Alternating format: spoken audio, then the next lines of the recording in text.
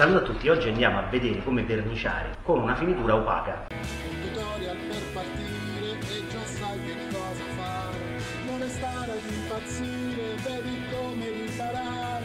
Perché è facile capire se c'è Flavio tutto fare.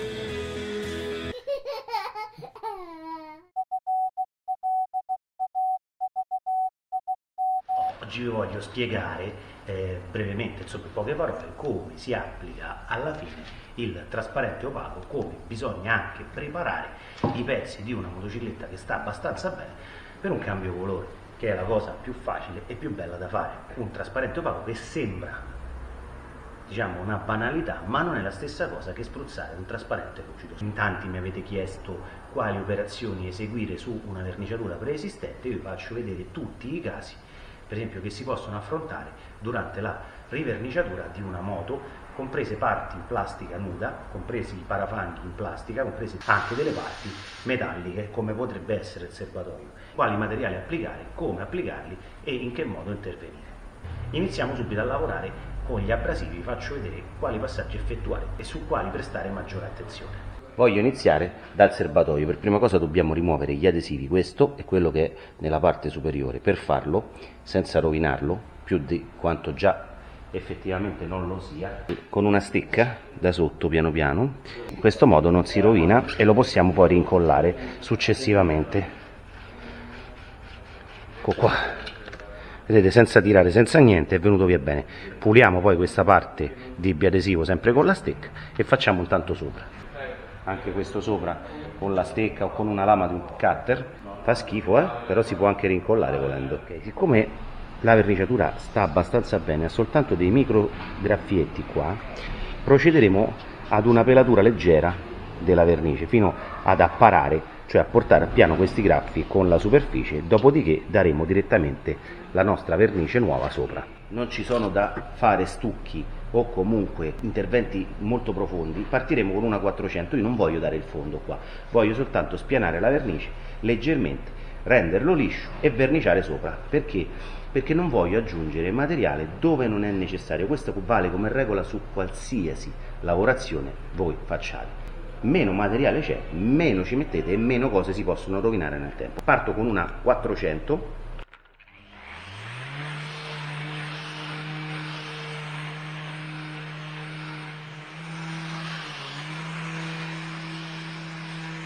Adesso passo una 600 su tutto il pezzo, 600 a mano, in modo che possa essere più accurato, è un pezzo piccolo. Non crediate che spianare a macchinetta sia più professionale piuttosto che a mano, eh? anzi, a mano si fanno meglio le cose, fidatevi. Pronti?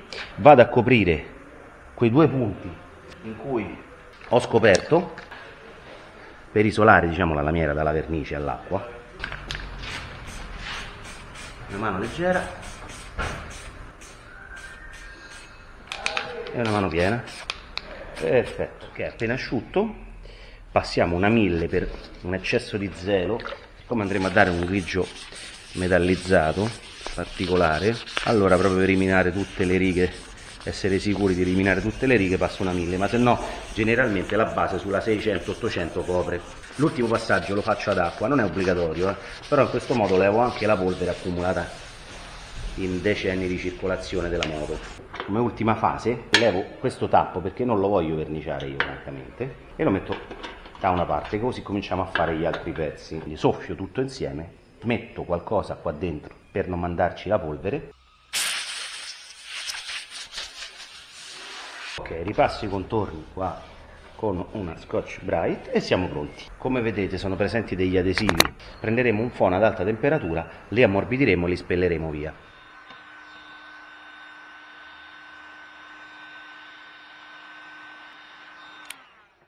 Dovete scaldare gradatamente per non creare arricciamenti sulla vernice così la possiamo mantenere. Vedete una volta scaldato come si leva? Facile si spella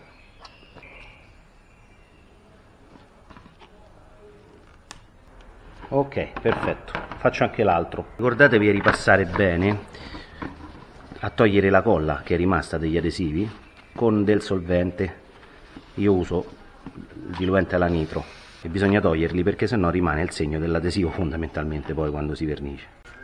Stessa procedura, 400, 600 dappertutto,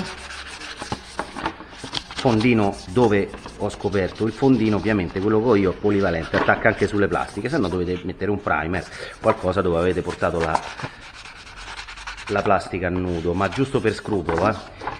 oh, in questo caso il primer sulla vernice non serve su tutto perché è già verniciato quindi è una plastica che già è stata primerizzata e già ha avuto la, la resa dell'aggrappante sulla vernice. Quindi voi dovete ridare vernice su vernice non serve il primer questi due pezzi che il cliente li vuole in tinta che sono di plastica nuda.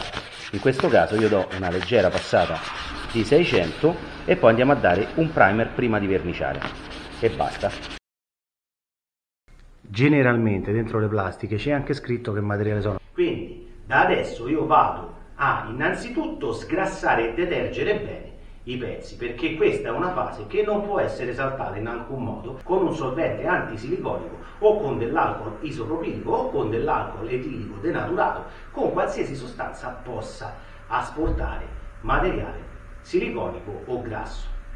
Vi sconsiglio vivamente di detergere con solventi acrilici o con solventi nitrosintetici o alla nitro perché possono portare via, specialmente se avete dato dei fondi monocomponenti io uso questo della Palinima, è uguale qualsiasi altra marca, è buona. L'importante è che sia detergente antisilicone, questo è per basi all'acqua ed è importante utilizzare il detergente per il tipo di colore base che volete dare sui vostri pezzi. Lo metto sul panno oppure posso con uno spruzzino, insomma ognuno ha il suo sistema. L'importante è passare sul pezzo in maniera uniforme a sgrassare bene l'antisilicone.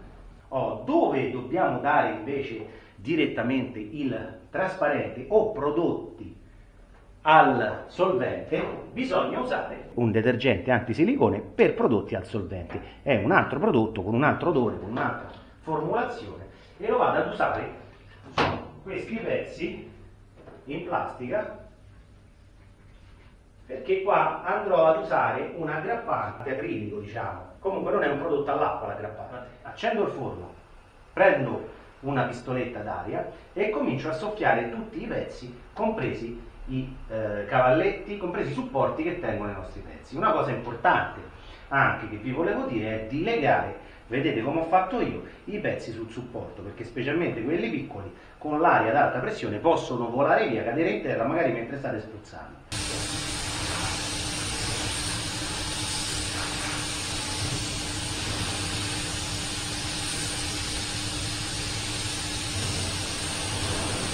Vado ad utilizzare un primer per la plastica, però essendo una motor, essendo un pezzo piccolo, userò questo di vernicispray.it a bomboletta che vedete che è esattamente per PA come c'è scritto dietro la plastica. Indipendentemente da quale marca vogliate usare, l'importante è che vi ricordiate di dare un primer aggrappante sulle plastiche nude ed essere verniciato entro mezz'ora dall'applicazione ma dopo che si sia asciugato non spruzzate su questo fresco o su quello, su qualsiasi altro primer fresco perché la vernice si apre. E diamo uno strato sottile ma coprente su tutto il pezzo.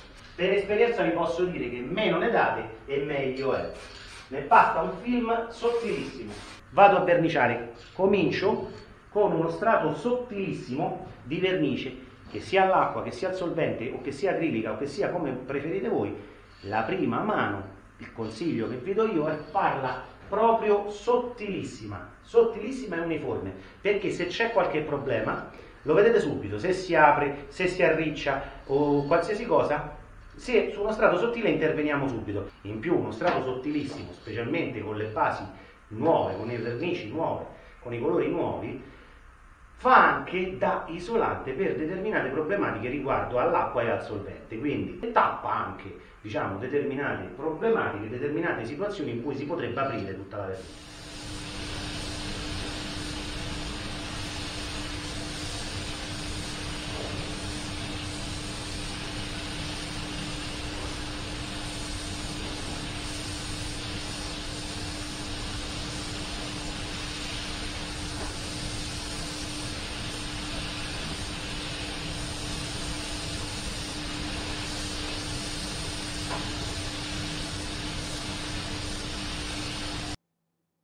Dopo il primo strato sottile, come vedete, asciuga subito, vado a dare immediatamente una mano piena.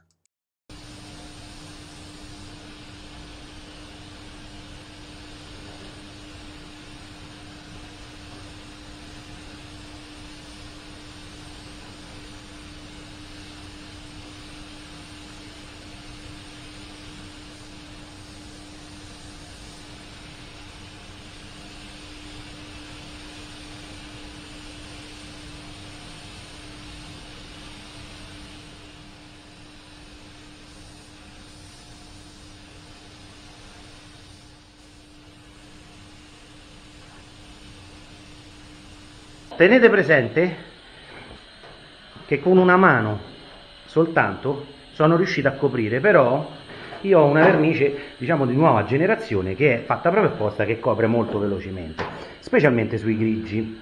Nel caso in cui non riusciate a coprire, immediatamente dovete dare un'altra mano. Quando adesso ancora è bagnata così, vado a passare l'ultima mano con l'aria a 3 bar, 3 bar e mezzo prodotto un po' più chiuso da lontano per smacchiare eventualmente qualche piccola macchia che può essere venuta sui grigi che generalmente può succedere. Vedete ad esempio se ci fate caso qua c'è una concentrazione di colore leggermente maggiore sembra una macchia più scura è vero che quando si asciuga sicuramente si leva ma se io gliela levo prima non sbaglio mai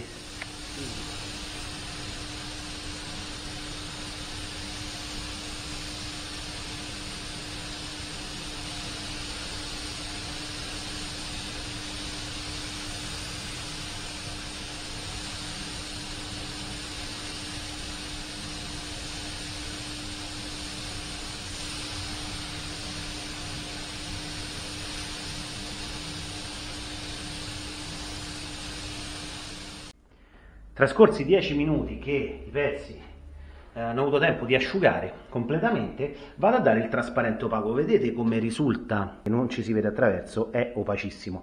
Vado a spruzzarlo. Questo è un medio solido, darò quindi due mani direttamente, due mani leggere, per avere comunque uno strato di trasparente a protezione della base, ma leggere, perché se colate con questo dovete rifare il pezzo. Non esiste lucidare una colatura sull'opaco, la colatura si spiana però poi farlo ritornare perfettamente opaco com'è di partenza è difficile.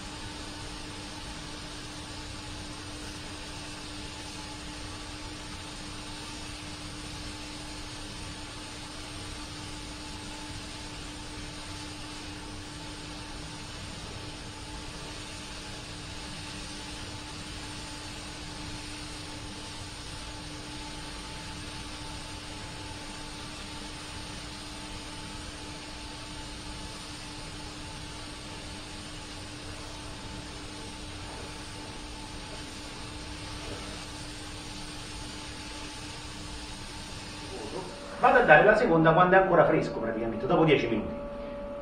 E chiudo il discorso con la seconda mano. Una cosa applicativa del trasparente opaco è difficile da usare, ve lo dico prima, non è intuitivo e semplice come il trasparente lucido. Ehm, dovete darlo con l'aria più alta del solito, stenderlo bene e cercare di non lucidare. Mi spiego, se in alcuni punti fate dei sovraccumuli di trasparente mentre lo spruzzate vedrete che avrete delle parti con differente grado di opacità. Quindi l'opacità non è data solo dal trasparente che di per sé è opaco ma dallo spessore che riuscite a fare. E dalla buccia che poi riuscite a imprimere a questo trasparente. Se fate uno strato molto alto diciamo vetroso e soprattutto carico, bagnato avrà una traslucenza diversa dall'opacità normale. Quindi voi dovete cercare di creare anche tre mani magari, ma leggere, sottili, quindi un effetto soft touch è chiamato. Se ci fate caso, tutte le verniciature opache, quando passate la mano sopra, non è liscio e scorrevole come sul trasparente lucido.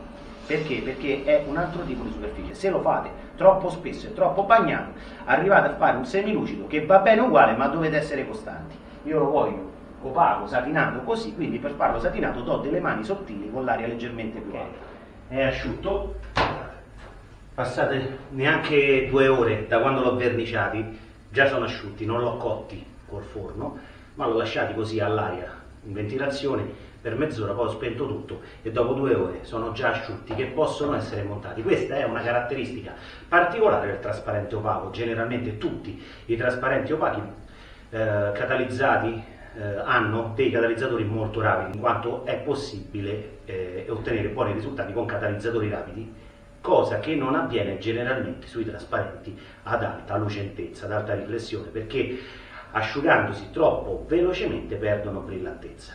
Sul trasparente opaco la brillantezza non esiste, quindi non c'è nulla da perdere e si può fare asciugare velocemente anche con catalizzatori del fondo, per esempio, che sono molto più rapidi. Bello satinato, perfetto, anche al tocco è abbastanza molto vellutato. Quindi, se il video vi è piaciuto, mettete un bel like, iscrivetevi al canale se ancora non l'avete fatto. Ciao, al prossimo tutorial. Segui Flavio, tutto fare, è possibile sbagliare. Un tutorial per partire e già sai che cosa fare. Non è stare ad impazzire, vedi come riparare. Perché è facile capire se c'è Flavio tutto fare.